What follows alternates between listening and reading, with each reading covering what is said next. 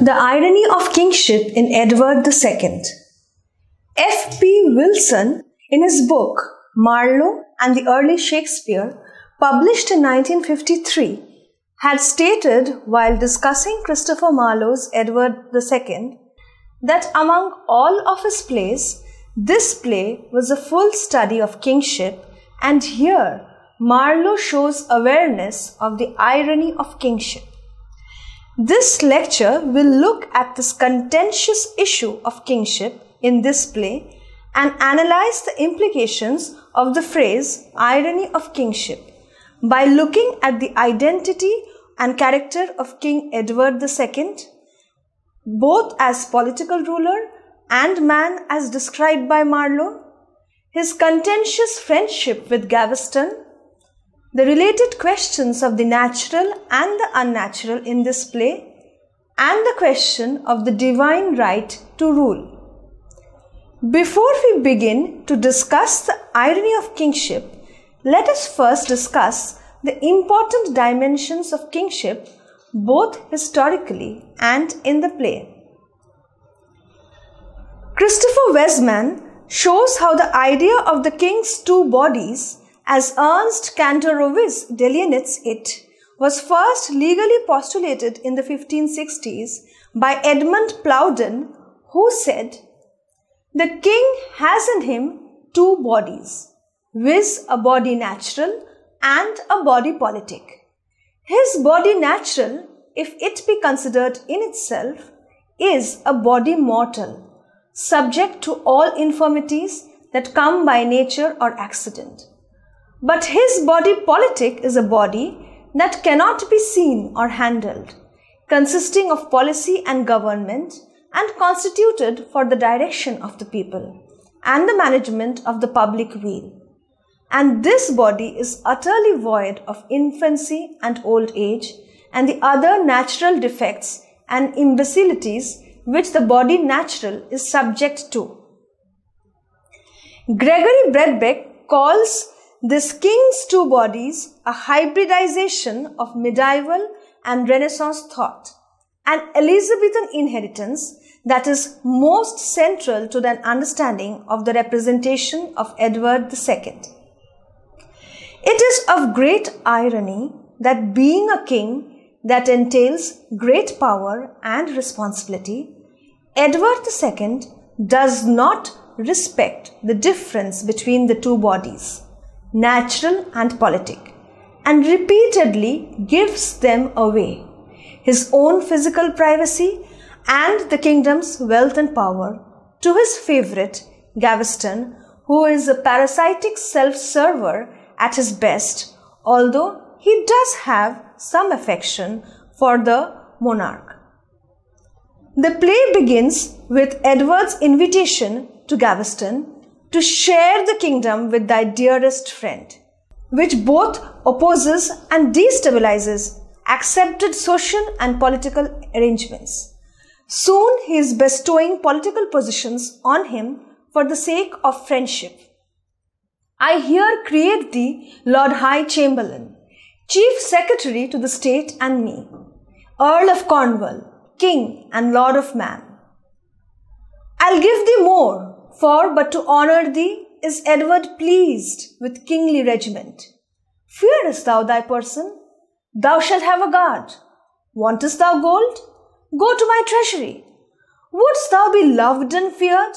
Receive my seal. Save or condemn, and in our name command, whatso thy mind, affects, or fancy likes.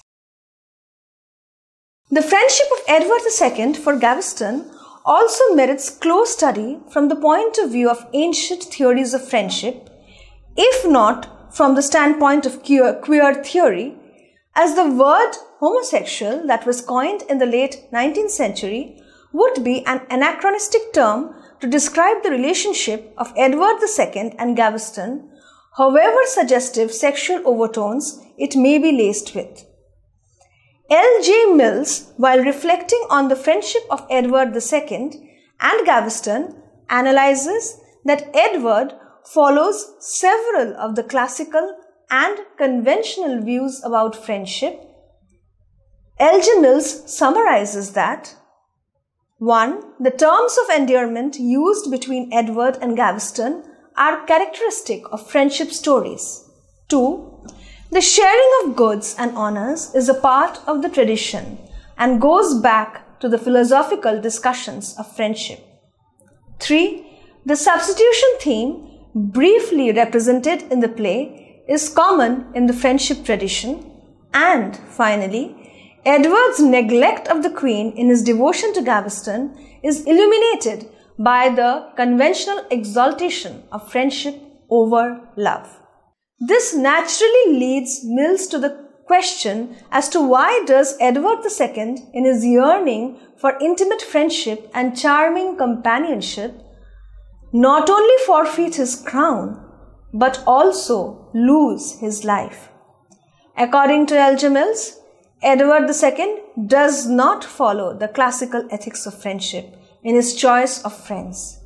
He does not test the people he considers to be friends, and nor does he try and distinguish between a real friend and a flatterer. He is unable to differentiate between worthy and unworthy companions. Trusts Gaveston, a self confessed flatterer, naively and absolutely and hotly defends him against all open and barbed attacks of the bar- barons to the point of starting a civil war. If the first defect is his inability to choose his friends carefully, the second and more significant difficulty, which is very obvious and very pertinent to the discussion here, is that Edward II is a king. Aristotle, in his Nicomachean Ethics, Book 8, had insisted that equality of nature and circumstances was of paramount importance for a real friendship to be founded. The friendship of superiors and inferiors, or a king and a subject, is of a different tenor than that between equals, a fact that Edward II disregards completely. As king, Edward's first duty is to the state and not to succumb to personal preferences.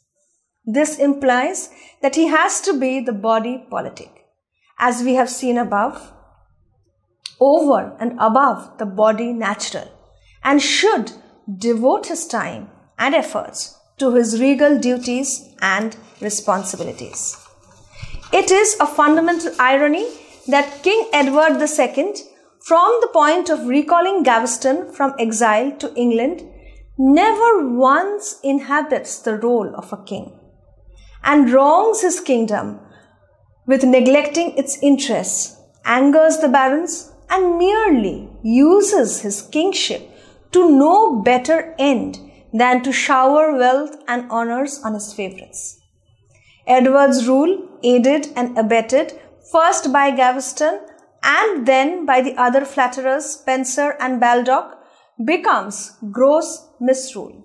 He exposes himself as a king who is entirely unfit to rule his kingdom. He prioritizes the relationship with Gaveston above all kingly concerns and is reluctant to follow the advice of the barons at every step. He says, Will you not grant me this? aside. In spite of them, I'll have my will. In Act 1, Scene 1, line 76 to 77. Ironically, he is not ignorant of the privileges that royal status confers on him and that it has the potential to structure a certain kind of identity. It is just that he refuses to live up to his political role and fulfill the duties and responsibilities it entails. His awareness of his royal status makes him utter blustering orders and threats such as the following. Well, Mortimer, I'll make thee rue these words. Beseems it thee to contradict thy king? Frownest thou thereat, aspiring Lancaster? The sword shall plane the furrows of thy brows, and hew these knees that now are grown so stiff. I will have Gaveston and you shall know what danger it is to stand against your king. These and many other similar instances of his attempts at dominance fail, rendering the words of the head of the state hollow and further nullifying his political role, as his orders and vociferous threats are never taken seriously, nor obeyed by the barons. Moreover, his one attempt at kingly courage on a battlefield in Act 4, Scene 5 is frustrated by advice from his flatterers to flee. Where he fails to live up to the role of his body politic and establish a respectful persona of the head of the state, it is again ironical that at a personal level, he is a man of certain virtues, chief among them being his genuine loyalty to those whom he has chosen to be friends. Una Ellis Fermor correctly opines Edward has the power of inspiring undying affection in the men within the circle of his intimacy.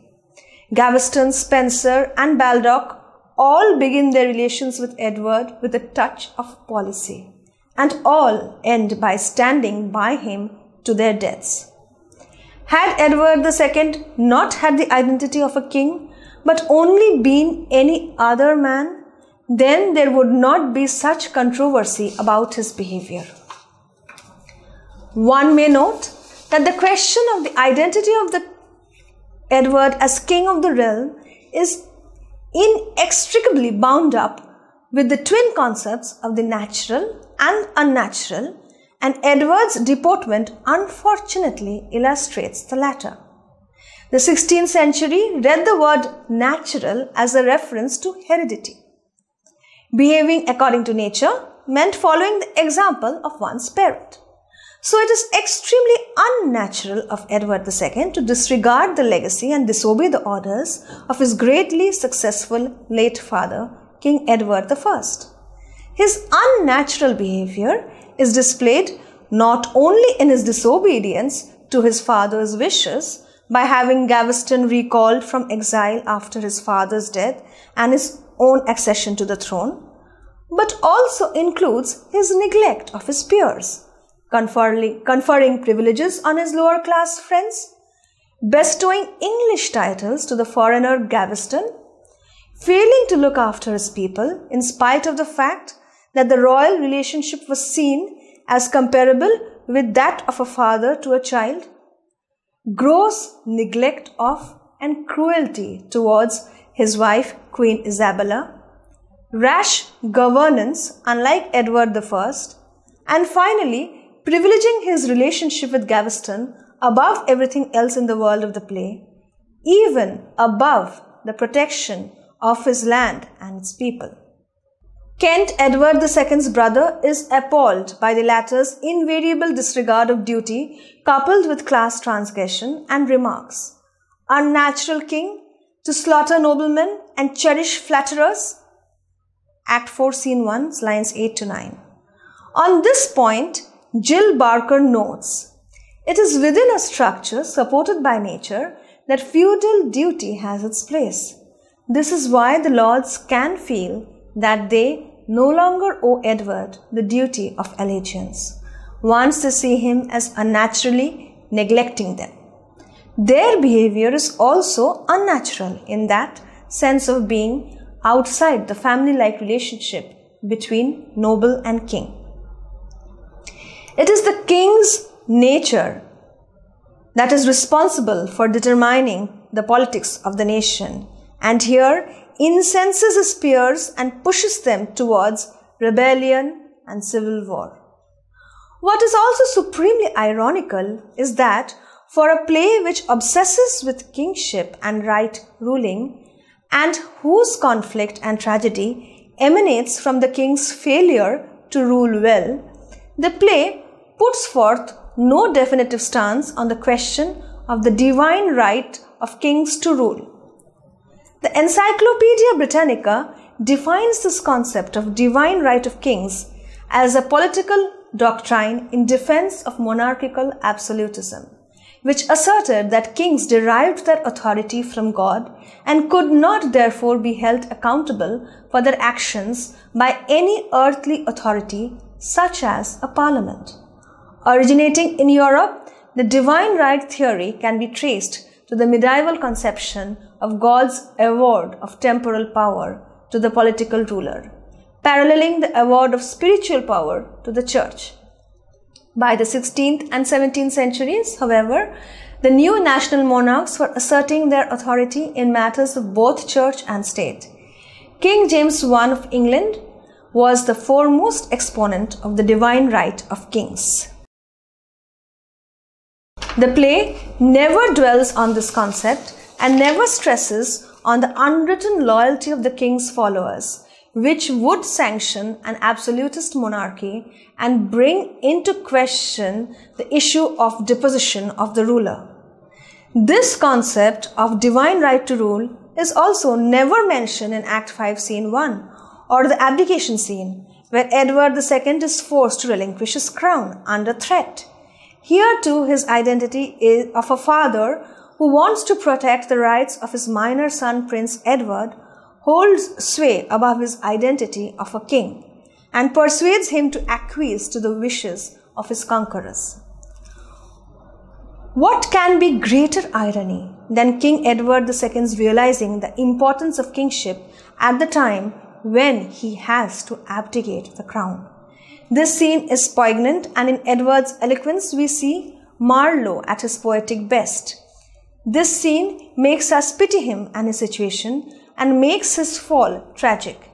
There is a combination of helplessness, pathos, and anger in his words as he realizes his abject position. But when I call to mind I am a king, Methinks I should revenge me of the wrongs that Mortimer and Isabel have done. But what are kings when regiment is gone? But perfect shadows in a sunshine day? My nobles rule, I bear the name of king.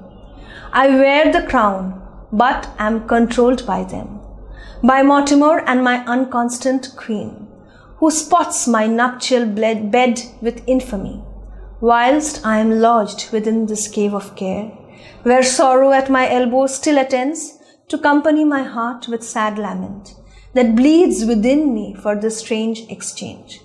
But tell me, must I now resign my crown to make usurping Mortimer a king? Yet again, it is deeply saddening and profoundly ironical that even the momentous occasion of abdication of his crown does not ensure any self introspection and taking stock of errors on Edward II's part. And so he says, Ah, Leicester, weigh how hardly I can brook to lose my crown and kingdom without cause. And later petulantly asks, Yet, how have I transgressed unless it be with too much clemency? This shows that he does not realize completely the extent of his wrong governance and failure of his rule and is not conscious of the necessity of the separation of the political and the personal or the public and the private. His all-consuming passion for Gaveston and the other favorites motivates him at every stage, however detrimental it may be for him and the nation. The wheel of fortune comes full circle when Edward II, who had goaded Gaveston in Act 1, Scene 1 to torment the Bishop of Coventry by throwing him in the gutter and thus christen him anew, is himself tortured by his gaolers on Mortimer's orders and made to stand in a cesspool and even shaved in sewerage water in Act 5, Scene 3. Even then, his loyalty to his favorites is not shaken. However much he may be ruined both personally and politically for them. He says, Immortal powers that knows the painful cares that waits upon my poor, distressed soul. O level all your looks upon these daring men that wrongs their liege and sovereign, England's king O Gaveston, it is for thee that I am wronged. For me, both thou and both the Spencers died, and for your sakes, a thousand wrongs I'll take. The Spencers' ghosts, wherever they remain, wish well to mine. Then tush, for them I'll die. If Edward's dispassion towards kingship and failure to be a good king leads to his tragic downfall, it is Mortimer's desire for kingship, coupled with his ambition, arrogance, and Machiavellian scheming, that ironically brings about his imprisonment and death in the hands of King Edward III. In the final irony of kingship in the play, it is left to the minor King Edward III to display greater sagacity and acumen than all his elders, be it his parents or Mortimer, as he recognizes what they could not, that the passions need to be accommodated to the that the passions must be accommodated that the passions must be accommodated to the moral and legal structures of civil society and that public virtues too must be somewhat tempered by the private. As Thomas Cartelli notes, a king who can both think and feel, but subdue his feelings to the lordship of his reason, as opposed to his will, Edward III may well supply the missing link both to right rule and the humoral idea in this play. In Act 5, Scene 1, Edward II, while raving at the loss of his crown, had said, Commend me to my son and bid him rule better than I. Whether or not this message of an unsuccessful king was carried to his son, Edward III shows a decided promise, unlike his father, of being an able king. So, in this lecture, we have seen that the fact, the irony of kingship in this play lies in King Edward II's devaluing kingship. As he himself says, I bear the name of king only. He is only a king in name. He, he always at every step is privileging the personal over the political. So he is doing what is unnatural and he is disregarding the prestige associated with kingship till the point he is forced to abdicate. But even then, his recognition of the importance of kingship is very fleeting and he never once introspects as to where his errors lie. And it is finally ironical that a little child, King Edward III, shows more intelligence both in terms of political intelligence as well as emotional intelligence in handling the crisis and conflicts towards the end, meting out justice towards the wrongdoers and revenging upon his father's death and being an able ruler unlike his father.